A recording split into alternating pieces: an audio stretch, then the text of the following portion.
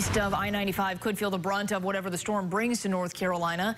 That's why emergency responders in areas like Lenoir County are turning to counterparts in other parts of the state as they plan. The top priority right now is providing shelters while addressing ways to protect people both from the storm and COVID-19. Things that you would be um, asked to bring would be items like hand sanitizer and, and mask, and um, if you have your own PPEs. Lenoir County officials are also following the governor's guidelines by strongly encouraging people to stay with friends or family rather than going to a shelter.